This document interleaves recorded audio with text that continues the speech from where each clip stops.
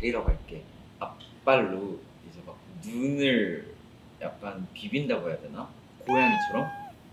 안녕하세요, 비키팬 여러분. 시멘티게러 추상우 재찬입니다.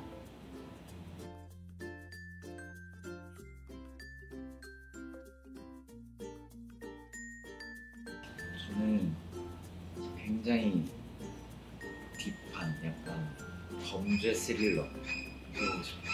되게 착해 보이지만 굉장한 범전이 무서운 사람 해보고 싶습니다.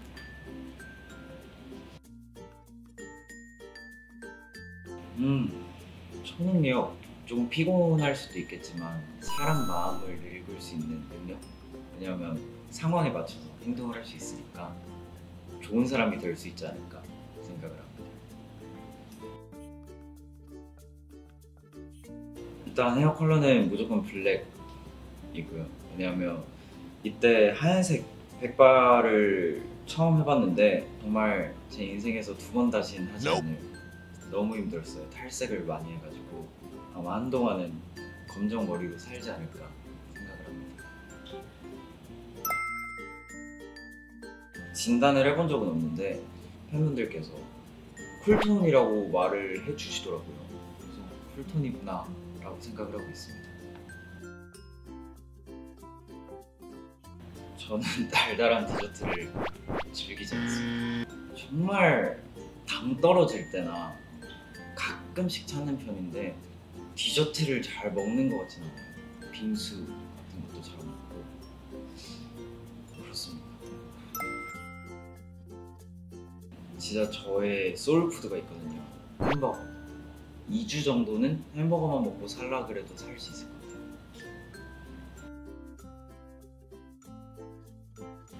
필름 카메라를 들고 다니면서 사진을 많이 찍어보자가 목표였는데 사진 찍는 유튜브도 보고 했는데 제일 좋은 카메라는 휴대폰이다 라고 말씀을 하- 많이 하시더라고요. 그래서 언제 어디서든 찍을 수 있으니까 요즘은 휴대폰을 굉장히 애용하는 편입니다.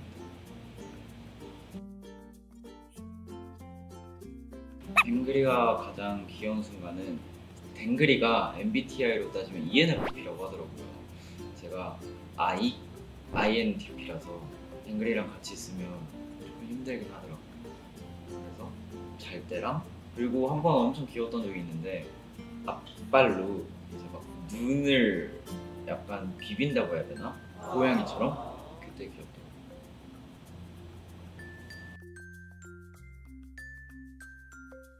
팬분들도 그렇고 의미를 되게 많이 궁금해하시는데 정말 아무런 의미가 없고 그냥 얼마나 귀여워요. 이 스폰지밥 주민들이 이렇게 모여 있는 이 장면. 별다른 의미 근데 사실 저는 굉장히 많은 분들께서 밈을 잘할 거라고 생각을 하시지만 엄청난 미말못입니다. 그래서 항상 이제 멤버들이나 친구들한테 좀 왜 이렇게 모르냐 질타를 많이 받곤 합니다.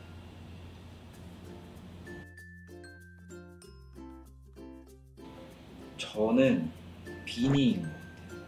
근데 친구들도 그렇고 비니 안 쓰면 안 되냐고 항상 저한테 뭐라 하는데 저는 포기할 수 없는 저희 패션 아이템이 비니입니다.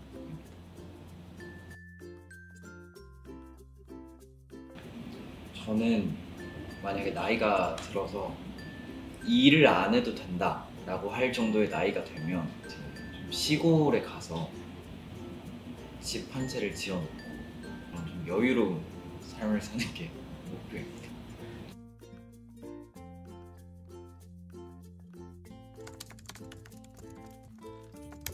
아마 우롱 밀크티에다가 밀크폼 추가일 거예요. 이게 그 제가 라이브를 하다가 팬분이 제가 공차를 좋아하니까 이렇게도 먹어봐라 라고 했는데 근데 제가 실수로 정말 잘못 알아듣고 저렇게 시킨 거였는데 어 이거 괜찮은데 하다가 이제 그렇게 만들어지게 되었죠. 근데 어렸을 때는 펄이 있는 거를 좋아했었는데 요즘은 또 펄이 없는 음료를 선호하게 되더라고요. 그래서 그 우롱 밀크티에는 펄이 없거든요. 그래서 더 좋아하지 않았나 라고 생각합니다. 요즘에는 망고 스무디를 많이 먹는 사실 옛날에는 이제 MBTI가 처음 나왔을 때는 이제 어 이 사람은 그런 거 같다라고 생각을 했는데 요즘에는 이제 사람마다 다 성격이 너무 다르더라고요. 그래서 참고 정도만 하는 그리고 저의 MBTI가 마지막으로 했을 때는 INTP가 나왔는데 그 INTP 나왔을 때도 I가 51%, E가 40%였거든요. 굉장히 내가 기분이 좋다 할 때는 E가 나오고 좀 피곤하다 싶으면 I가 나오고 그렇지 않나 생각을 합니다. 그리고 나머지는 다 완전 N, P, P 쪽이고 그렇지 않나 생각을 합니다.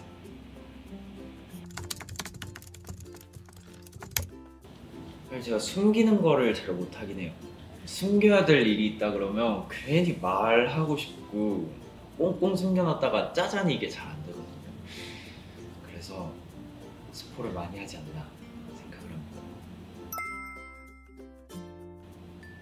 평소에도 숨기는 걸 잘 못하는 것 같아요. 그 막상 물어보면 다 털어놓게 되는 좀 그런 성격입니다.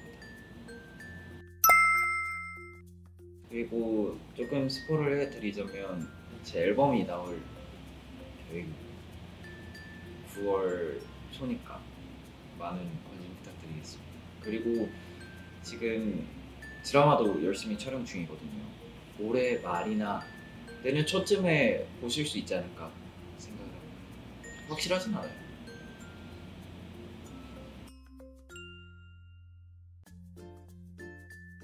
첫 번째로 알려드릴 문장은 MBTI 뭐야? 인데요. MBTI는 이제 성격 유형 검사라고 MBTI로 그 사람의 성격을 조금이나마 추측해 볼 수 있는 그런 검사인데 한국에 오셔서 또는 이제 한국인 친구와 얘기를 할 때 처음 만난 사람끼리는 인사말처럼 물어보기도 하거든요 요즘에 그래서 MBTI 뭐야? 알려드리고 싶습니다 또 다음 알려드릴 문장은 버블티 먹으러 갈래? 인데요 제가 버블티를 굉장히 좋아해서 버블티 먹으러 갈래? 알려드리려고 합니다 이제 만약에 그 사람이 다른 걸 좋아한다 라고 하면 앞에 버블티만 다른 걸로 바꾸면 되거든요 커피 먹으러 갈래? 케이크 먹으러 갈래? 이런 식으로 바꿔서 그 사람의 취향에 맞는 그런 음식들을 넣으면 좋지 않을까 싶습니다 그리고 마지막 문장은 어디야? 데리러 갈게 인데요 이제 그냥 딱 듣기만 해도 설레는 그런 말인 것 같은데 어디야? 데리러 갈게 라고 하면 상대방이 굉장히 설레하지 않을까 생각합니다. 비키팬 여러분 지금까지 시멘티게로의 추상우 재찬이었습니다. 앞으로도 재찬이에게 많은 사랑 부탁드리고 저희는 비키에서 만나요. You, 비키